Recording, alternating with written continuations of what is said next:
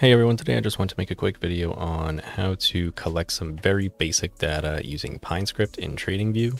It should be fairly quick. Uh, I think I'm going to show kind of like a beginner version of what I think that could look like, followed up by um, an intermediate way of doing things where you could get a little more complex just to give you some ideas of, uh, you know, how you can collect data in TradingView and apply it to your trading. But the very first thing I'm going to do just to get us comfortable with actually um, keeping some counters and, and collecting data that way is just to make a simple day counter. So basically for every daily session that we have on a chart, we want to count that.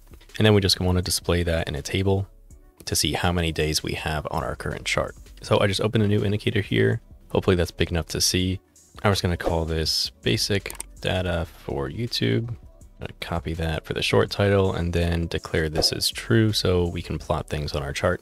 You can see that this third parameter is overlay. That's the one I set to true, which basically means that we're going to be able to plot data on top of our price chart instead of it being on some lower panel. We're just going to delete this line that it automatically made for us. And so the first thing I'm going to do is just declare this count variable and set it to zero. And if I hover over this var keyword, you can see that it's used for assigning and one-time initializing of the variable. So what this basically means is that on the very first bar of the chart, this is being set to zero and it's not being reset after that point. If you compared this to declaring it like this, without the var keyword, this would mean that on every bar count is getting set to zero and you're probably and you're probably manipulating the value later on. But when I'm doing a lot of data collection, I'm using this var keyword very often just to make sure that I'm keeping my counters clean and they're not getting reset on every bar. So this count variable is basically what I'm going to use to count our days. And in TradingView, this is really easy to check when you have a new day. You can just say if time frame change. I'm going to pass in a string of D because that denotes the one day time frame, which you could also do 1D, but I'm just going to do D. So if that is true and our time frames did change, then I'm just going to increase this. So if that is true and our time frames did change, then I'm going to increase count by one. So I can do count plus equals one. And just to give some more visuals, I'm just going to do new day equals false. So this is going to be set to false on every new bar. But then when we have a daily time frame change, I'm going to set new day equal to true. And I'm going to change the background color of that point in time just to highlight the fact that the time frame did change. And TradingView has a built-in function called BG color. And so I can just make this a conditional statement. So if new day is equal to true, and I can just put a question mark here, then I'm just going to do this blue color with half transparency. Otherwise, I'm going to put no color. So I'm going to save. I'm going to add it to my chart. And you can see this blue color on every day at 6 o'clock p.m. I'm on NQ Futures, so that is when a new day begins. And if I scroll back all the way, you can see that these are plotting in the past as well.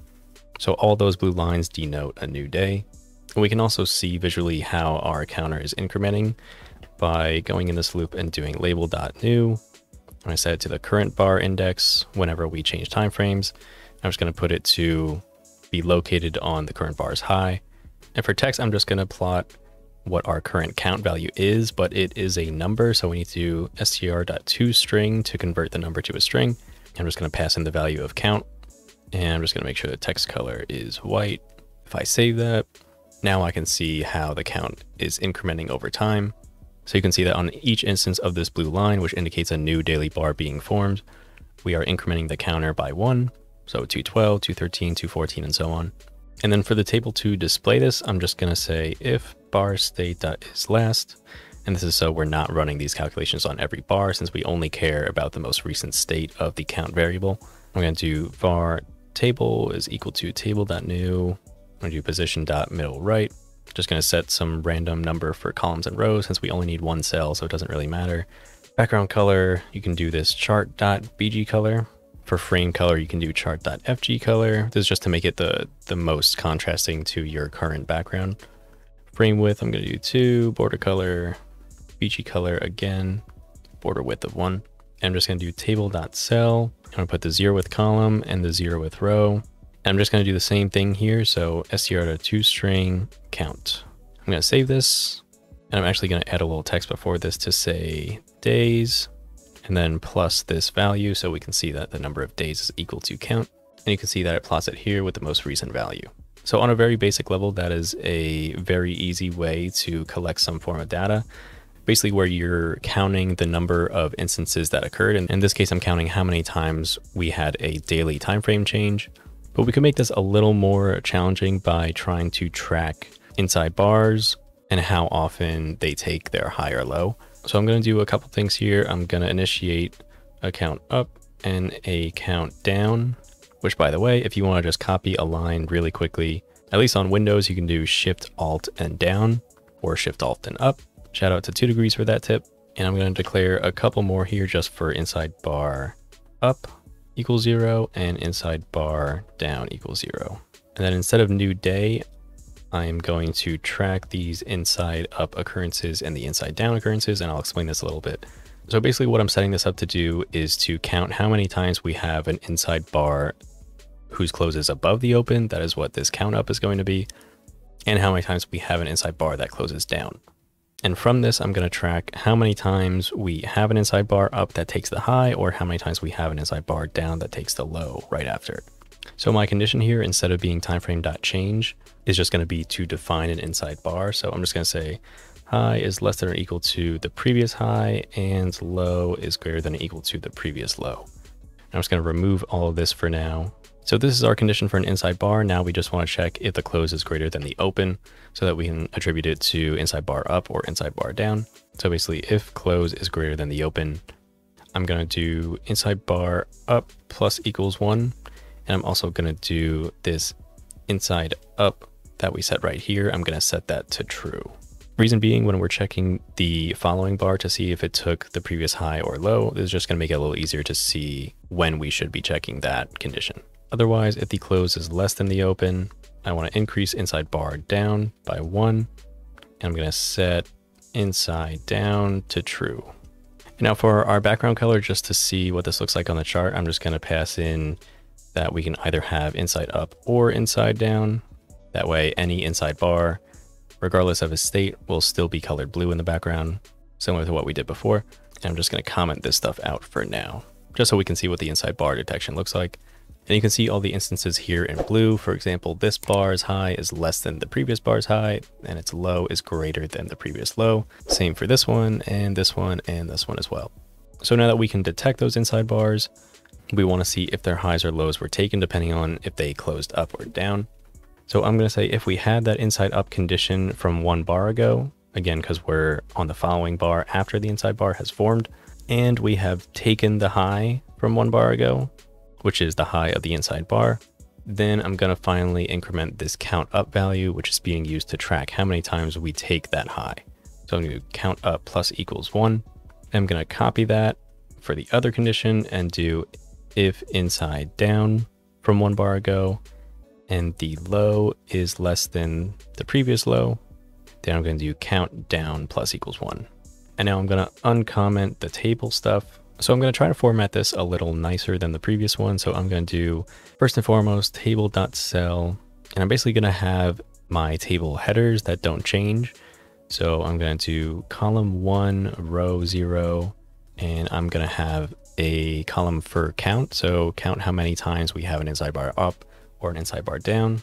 I'm going to make another column for taken. So if we have an inside bar up and we take the high, or if we have an inside bar down and we take the low. And then lastly, I'm just going to do our percent value, which is just going to be basically how many times we took the inside bar extremes divided by the number of instances that we had. Then I also just want to make the labels for the inside bar up and down. So I'm going to do column zero, row one, do inside up, and then column zero, row two, inside down. And I'm going to save this so you can see what it looks like.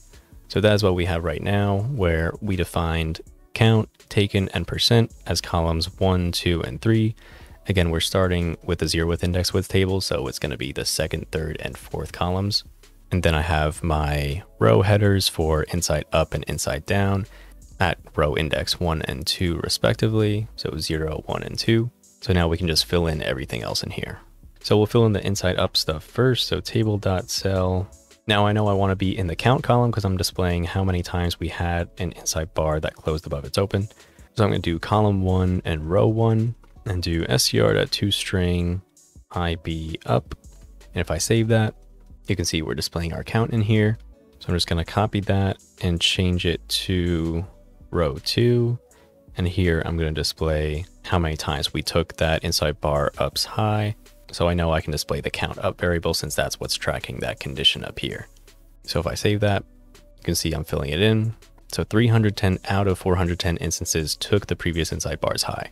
Then if I do one more here, change it to column three, str.to string, count up divided by inside bar up times 100. And this is basically going to give us the percentage of instances that took the previous inside bars high. So if I save that, you can see that displays correctly with about 75%. And say I want to get rid of these trailing digits, I can just do wrap this all in a parentheses and do math.round, comma, however many digits we want to keep. I'll just do one. So if I save that, then there we go. It's 75.6%. So we basically just need to do the same exact thing for the inside down row. So I can copy everything here and do a paste. And I'm just going to change all these rows from one to two, since that is the inside down row right here and change everything accordingly. So instead of inside bar up, there's going to be inside bar down. There's going to be countdown and countdown divided by inside bar down. And if I save that, then we can see everything here. So how to read this table, we had 410 instances of inside bars that closed above their open. Of those 410 instances, 310 took the high on the following bar, which is 75% of the total instances that we found. And for inside bars that closed below their open, we had 298 instances of that on this particular chart, 206 of which took the low on the following bar, or 69% of the total sample size. And you can see how that obviously changes with different time frames since you'll have different data to work with on each one.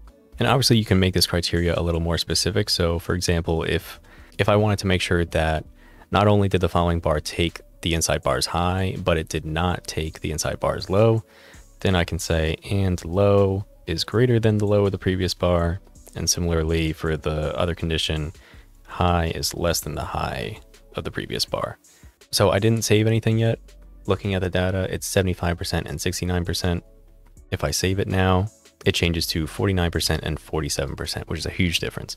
So obviously there were a good chunk of instances that took both sides of the inside bar, which makes sense. Obviously, when you have a small range like that, it happened right here actually, where this was defined as an inside bar. High is lower than the previous high, low greater than the previous low. Took the high and took the low as well. So again, this is pretty much just the general framework that I use for collecting data with PineScript, where I have my variables where I'm trying to store how many times a specific instance occurred. And, you know, sometimes I, I'll have these wrapped up in, in types and, and other stuff, but that could be another video for a later date. But once you have those counters, you basically just feed in your conditions. If this, then that, and increment your stuff accordingly. And then at the very end, you can take the number of successful instances over the number of total instances to get some reasonable data to look at on your chart. And for those who are familiar with my T-Trades daily bias indicator, which is all open source, that's basically all I'm doing. It's probably overwhelming to look at if you haven't really coded much, but if you go into this update lines method, this is basically where I'm tracking all my stats. So for those that don't know, this is what the T-Trades daily bias comes with. It's this little table that checks to see if the bias is previous day high or previous day low based on some rules set by T-Trades and determines the success rate of how often price takes the previous day high or previous day low with that bias. So what I'm doing here is basically checking if we took the previous day's high and our bias was already bullish, then we're going to increment the number of times that we hit the previous high. And that's ultimately going to be formatted into our table of how often price reached the previous high when our bias was pointed in that direction, and vice versa for the lows as well. If we took the previous day low and our bias was already bearish, then we would increment the number of times that we hit the previous day low and use that to format our table. But that's pretty much it. Hopefully this was helpful. It's definitely a lot easier for me to crank out videos in PineScript versus NinjaScript just because I'm more familiar and it takes me less time to, to make everything. So if you want to see more of these, please let me know. I'll probably still be doing a fair split of PineScript and Ninja, but if there is more demand for PineScript in the end, then I can ultimately tailor my videos towards that for sure. So if you like this video, please give it a thumbs up and subscribe to the channel. Let me know what you want to see next, and I'll see you next time.